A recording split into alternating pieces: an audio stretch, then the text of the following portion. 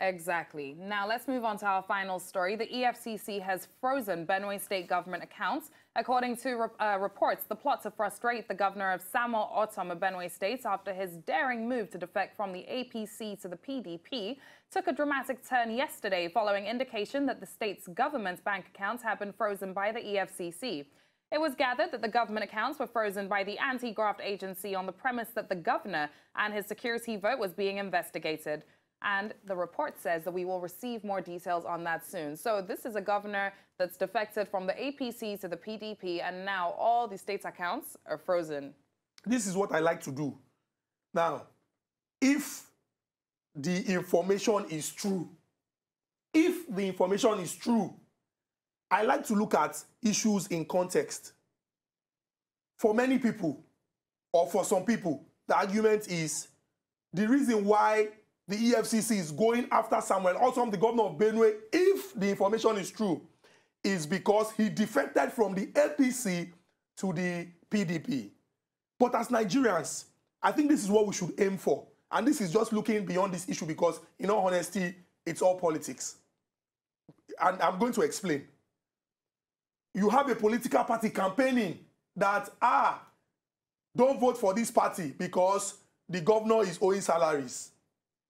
But you have governors in your party too that are owing salaries. We are waiting for your own campaign to see what you will use to campaign when it comes to campaign. Now, what Nigerians must do is aim for that perfect picture. And what is the perfect picture? People must be held accountable. I do not, for the life of me, understand the concept of the security vote security vote that is unaccounted for.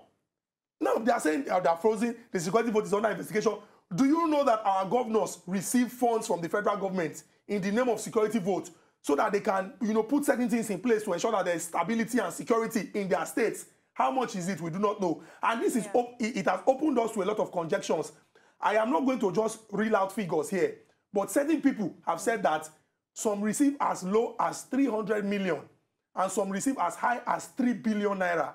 Let us begin to ask ourselves look at the country, mm. look at human capital development, and wonder if whatever one naira public officials receive impacts in the lives of Nigerians. What Nigerians must aim at or look for now is to go beyond the politicking. I don't have any business with PDP and APC. As far as I'm concerned, they are a tweedledum and tweedledee. But my business is Nigeria. Because at the end of the day, if this one switches party you know change your style snake in the monkey shadow to this political party i cannot switch allegiance because even though it's a difficult process i don't i prefer being a nigerian. Actually and, yeah. yeah very much so. And what nigerians also need to understand what we really need to understand is that good governance accounts for 80% of one's welfare. So if we do not get governance right we are really not going to get it right. You have nine days left to get your permanent voters card or to register rather for your permanent voters card please go ahead and do it. It's important and imperative that we all play a role in trying to do better for our country, Nigeria. Now, on that note, there are some people doing a lot better for our country, Nigeria. I'm going to introduce her in a second. First of all, thank you, Chukwudi, so much. Us, this is very insightful information for thank us you. all.